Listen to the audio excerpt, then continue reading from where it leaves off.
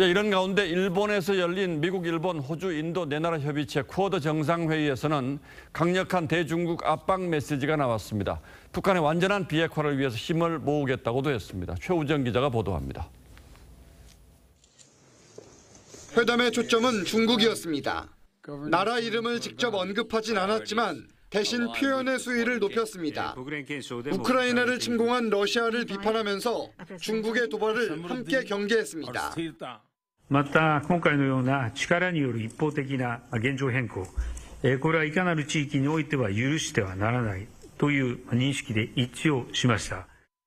해외 투자를 늘려가는 중국의 확장 전략에 맞서 인도 태평양 개발도상국의 인프라 개선에 5년간 63조 원을 투자하기로 했습니다.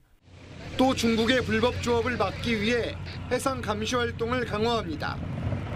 어제 경제협력체인 IPEF에 이어 쿼드회의까지 중국을 경제와 안보 모두에서 압박하는 겁니다. So the Quad has a lot of work ahead of us. It's uh, the fact of the matter is we have a lot of work to do keeping this region peaceful and stable. 미국의 포위 전략에 중국은 남태평양 외교전으로 맞대응했습니다. 중국은 26일부터 남태평양의 전략적 요충지 솔로몬 제도 등 주변 8개국을 방문한다고 밝혔습니다. 4개국 정상은 북한을 향해서도 완전한 비핵화에 힘을 모으겠다고 밝혔습니다. 다만 북한의 코로나 확산은 인도주의 차원에서 돕겠다고 했습니다. TV조선 최우정입니다.